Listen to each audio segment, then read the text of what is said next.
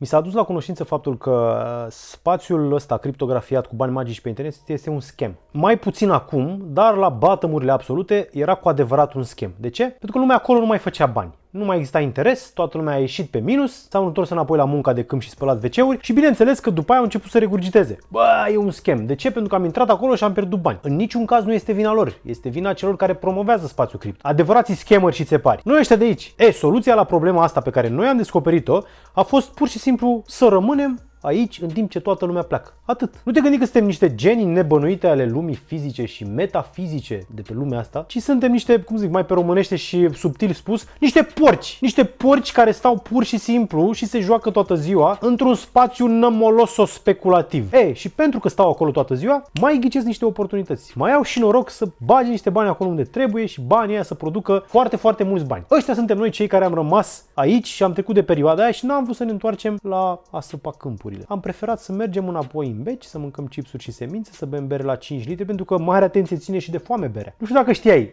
în România, berea la draft cel puțin este încadrată la TVA cu mâncarea. Da, berea la draft este în aceeași categorie de TVA cu mâncarea. Ce-ți spune chestia asta?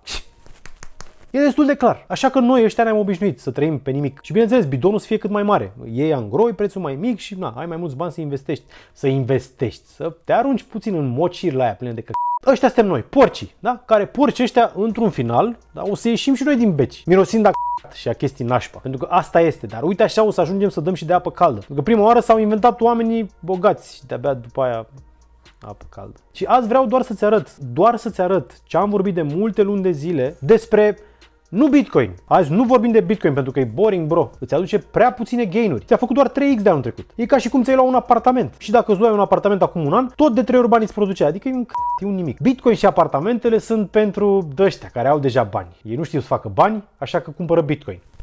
Dacă gândești așa, ce pot să zic? Succes în mocirlă. Ca să faci bani cu adevărat, reține chestia asta, eu am inventat-o, nu Warren Buffett. În primul rând, în piață trebuie să înveți să nu pierzi bani. Asta e cel mai important lucru. Am avut o epifanie azi noapte și am gândit-o eu, e scoasă de mine, proaspăt, pe tavă din cuptor, iau-o și înghite-o. Înghite înghite tot. Deci contează foarte, foarte mult cum să nu-ți pierzi banii. Așa că Bitcoin pentru mine reprezintă varianta safe pentru a nu pierde banii. Și mai departe mergem în mocirlă. Așa că, dragii mei porci, o să vă arăt azi monedele în care eu am investit și mi-au produs o grămadă de bani până acum, pentru că încă n-au ajuns la targeturile mele. Și le știți, le știți, pentru că de fiecare dată când intram pe charturile astea pe care le-am tot luat la puricat, să vedem unde se duce Bitcoin, unde se duce Ethereum, unde se duce S&P-ul, DXY-ul, da? Și apoi mai departe ați văzut aici o listuță pe care scrie așa Velo, XDB, nu link, că ăsta e mai ok. Jasmicoin, țineți minte când vorbeam de Jasmicoin, toată lumea a întrebat, bă, ce e aia? E un fel de nou site pentru băieții care trăiesc în beci și vor să-și facă abonament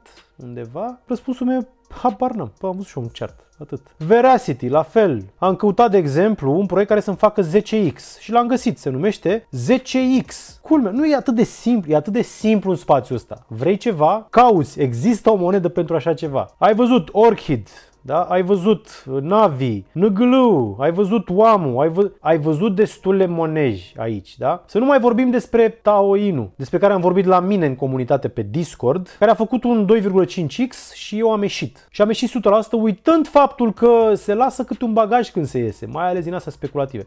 Între timp a făcut 23x. Deci dacă lăsau un bagaj de 20% din monedă măcar, 20%, ăia 20% valorau undeva la 7-8 mii de dolari acum. Asta este, mai se întâmplă, da? Nu trebuie să le iei pe toate toate, îți faci numai 20 X-uri, da? Pur și simplu pe unele dintre ele aștepți. Și hai să vedem de exemplu Velo. Când vorbeam de Velo, mai ales în perioada asta de aici, da? A reprezentat ultimul button cu o deviație aici la 0,0 multe zerouri, ca așa sunt și coinurile astea. La fel, XDB-ul ăsta. Am vorbit de el fix când făcea double bottom și ai zis, bă, ok, gata, începe creșterea. Și am mai avut o retragere destul de majoră, însă de aici, de când am vorbit de el și am zis, bă, mai fac ultimele intrări. Ultimele mele intrări mai masive le fac aici. Era multe zerouri 3. S-a dus la tot multe zerouri, 9-5. Mi-a făcut 3x-ul. Am luat niște profituri, încă o dată play-ul de aici. La 0 multe zerouri, 4-5. Am dat și la mine în comunitate, uite aici pe Discord, unde mai punem analize de astea și pe termen scurt și o monedă și niște suporturi și nu știu ce.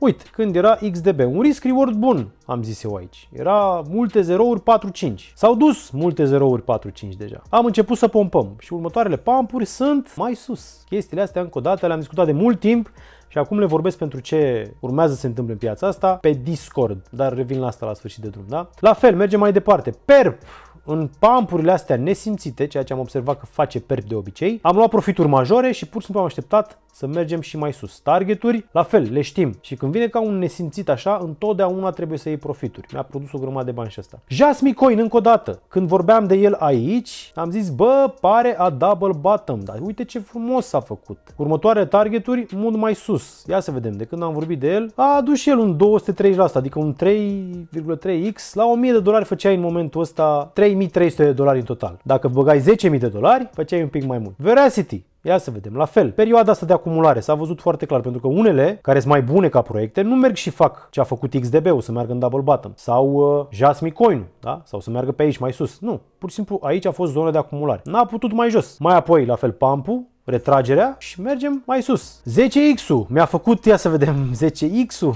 La fel, aici am pus pe Twitter. Fix aici am pus pe Twitter și am vorbit și pe YouTube. 280% în pampul ăsta. Am avut retracement acum și pare că am ieșit din trendul ăsta și mergem înapoi unde trebuie. Unde trebuie? Nu știu, vedem. Orchid, la fel. De aici din zona asta am intrat în el. 0, ăsta nu are multe zerouri, e mai ok. 06061, ceva de genul, da? Deja cât a făcut? A, a făcut 2x-ul și ăsta. La fel, ți-am vorbit de Filecoin, de mi-a venit rău. Eu nu sunt în Filecoin, pentru că n-am mai avut timp să mai intru. Dar îți vorbeam de el de când luam longuri de pe aici, de la 4, 4 și un pic ceva de genul de pe aici și ți-am zis, bă, ăsta când iese din range-ul ăsta de aici, că se poate vedea, ia uite ce targeturi frumoase are mai sus. Da? Din zona asta, prima zonă de rezistență pe la 16, 28, cine știe, poate chiar și mai sus, în zona de când eram în bull. N-am de unde să știu exact, sunt targeturi, da? dar încă o dată, important este să faci bani și să nu pierzi. Aia e cel mai important. La fel, nu mai zic de năgălul ăsta. L-am luat aici în perioada asta de aici și încă o tranșă aici, mi-a făcut 10x. A, uite, trebuia să caut uh, 10x-ul aici mai degrabă. Aia e, pare că se formează la fel o perioadă de acumulare și aici. Nu știu, vedem mai încolo. La fel și Navi, la fel și WAM a avut niște pampuri nesimțite și după aia la fel pullbacks da? și după ce Bitcoin își face următorul număr pe care și l-a făcut deja, când vine lichiditate mai jos în proiectele, proiectele astea micuțe, o să pompeze ca niște animale, cum nu o să vezi la Chainlink sau la Eagle sau la altele, da? O grămadă de bani. Așa se fac bani în spațiul ăsta. Pur și simplu îți alegi niște cai de cursă, studiezi un pic charturile. Astea sunt monedele care mi-au produs până acum bani însă nu s-au dus încă la targeturi. Mai am de așteptat, culeg pe parcursul ăsta profituri din ce în ce mai mari, mai micuțe aici pentru că nu mi-au ajuns la targeturi și când ajung la targeturi, din ce în ce mai mult decartez. E, ce fac în continuare? Pentru că, încă o dată, reamintesc, strategia principală este jocul de lichiditate despre care am vorbit. Încă o dată, mi-a ieșit vomă pe nas, m-am săturat de câte ori ți-am zis de el. Contează foarte mult ce se întâmplă cu S&P-ul în funcție de jocul de lichiditate și apoi după aia, de-abia după aia, ce face Bitcoin și de-abia după aia ce face Ethereum și de-abia după aia ce fac top 100 și de-abia după aia top 1000 și de-abia după aia top 10.000. Așa vine, cu lag, multe luni distanță. Da? Trebuie să ai răbdare. Pentru că următorul play, când o să încep să iau profituri mult mai agresiv din, uh, hai să le spunem, coinurile astea, din monejile astea, când încep să iau mult mai agresiv, o să caut play-uri mai, specula- mai speculative de atât. Uh, m-a trecut un shit, mă, m-a trecut un feeling. O să merg fix în clasamentul ăsta pe aici, mult mai jos, mult, mult mai jos, pe la locurile 3000, 4000, vedem ce mai găsim pe aici. Sau, vedem ce se mai listează. Pentru că, de exemplu, un uh, joc, joculeț de ăsta pe care la fel l-am pus pe Twitter, că am anunțat, bă, se începe farming-ul, puteți face niște bănuți de aici. Am făcut niște bănuți, vreo 43x, ceva de genul. Deci pastea le voi vâna în momentele alea. Însă, față de 2021, când toată lumea era disperată să arunce cu bani. Până ca după aia, mă rog, să ne întoarcem înapoi în cocină, unde toată lumea aruncă cu rahat în tine, nu cu bani în piață, intram ca hapsânul și uitam să mai ies. Aia era problema. Acum scopul meu este pur și simplu, dacă îl mai ții minte, pe măsură ce mergem la targeturi, da? targeturi, X, Y, bam, un X la sută de aici scos. Pe măsură ce mergem mai sus, scot profituri mult mai agresiv. Unde se duc banii ăștia? Nu se mai duc înapoi în moneji. Nu, în niciun caz de acum încolo, se vor duce într-un loc care se numește, un, un fel de Narnia, un loc unde totul este predispus să moară, dar nu lăsăm să moară, doar îi păstrăm un pic, da? Tot cash-ul ăsta se va duce la saltea. Tot ce produc de aici din gain astea, pe măsură ce înaintăm, da? La fel și ce obțin din chestiuțele astea. Tot ce fac de acum încolo, major, cash-ul major, se duce aici. Cash-ul major. Și cu cash-ul minor mai venim în niște monezi. Mai venim în câteva monezi. Dar doar câteva. Nu mai facem greșelile din trecut. De ce? Pentru că pe măsură ce înaintăm, încă o dată, pe măsură ce înaintăm, lumea aici, normis, ăștia care, încă o dată, aruncau cura în tine, în cocină. Și le dau de tine, uite și pe porcul ăla. El cu porcii lui toată ziua pe cripto, niște nelegiuiți ar trebui arși pe rug, sincer, după părerea mea. Și chiar aveau dreptate. Însă oamenii ăștia se vor întoarce aici și vor zice, suntem pregătiți acum să facem și noi bănuți. E, și din momentul ăla, practic, noi nu mai avem ce să căutăm aici. Și apoi, bineînțeles, fiecare porc cu cocina lui. Însă, dacă tot așa mă urmărești de ceva timp, ai văzut că la fiecare clip aveam listuța aici pregătită. Le urmăresc pe astea. Plus că mai am și vreo 3 metamascuri. Plus că mai am și acțiuni mai nou. M-am mâncat în curs să cumpăr niște mineri, care nu știu ce dracu sunt. Sunt niște companii listate public care folosesc o grămadă de putere computațională și energie ca să producă o monedă virtuală denumită Bitcoin. Care, by the way, Bitcoin-ul ăsta e încă un schem. De ce e schem? Pentru că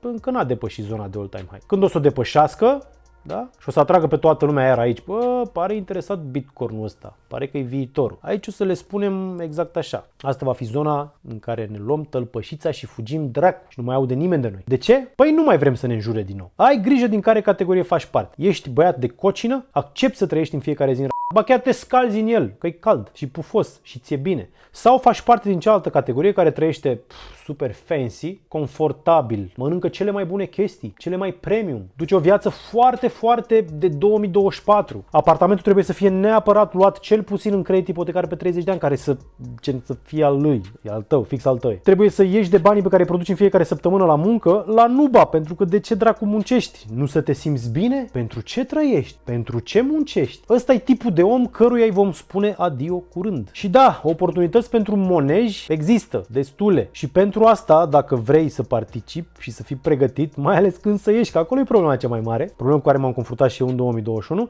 îți recomand să intri pe notorious.io. Avem un nou tip de abonament, unde avem un băiat uh, mult mai digen decât mine, care e toată ziua, 7-8 ore pe zi, în studiu de proiecte, proiectele care merită atenția noastră extra. Adică alea de cocină. Hai să-i spunem pe românește. Proiecte de cocină care au potențial să ne facă mai multe X-uri. Îți recomand să iei tipul ăla de abonament și oricum o să primești tot, adică și jocul de lichiditate, tot spectrul ăsta macro în care trăim și fără de care nu avem cum să supraviețuim, nu avem cum să ieșim cândva din beciu slash cocina de care vorbeam. Primești și analize lunare, da, facem breakdown pe tot ce se întâmplă în piața asta, tocmai ca să nu fim surprinși când vine perioada de ieșire și apoi de reintrare. Vii și pe Discord, acolo la fel, canalele sunt separate, cei care sunt și cu play-urile astea degenerate au separat un canal și vorbim acolo de toate, tot ce se mănâncă în spațiul ăsta și nu numai. În plus, dacă vrei să-ți cheltuiești criptomonedele pentru că ai devenit bogat și deja ai făcut mult prea multe X-uri în cripto, îți recomand o aplicație. Redot se numește, ai link în descriere. Îți faci un card digital, te costă 10 dolari. E exact ca Revolutul, e Visa cardul. Îți trimiți USDT din Binance, din KuCoin sau din MetaMask, îți ajung în câteva secunde pe aplicație, cardul ăla digital îl bagi în wallet pe telefon și mergi și plătești direct la magazin, fără trimis prin bancă și după aia transferat cu fiuri foarte, foarte mari și cu zile pierdute pe transferuri. Totul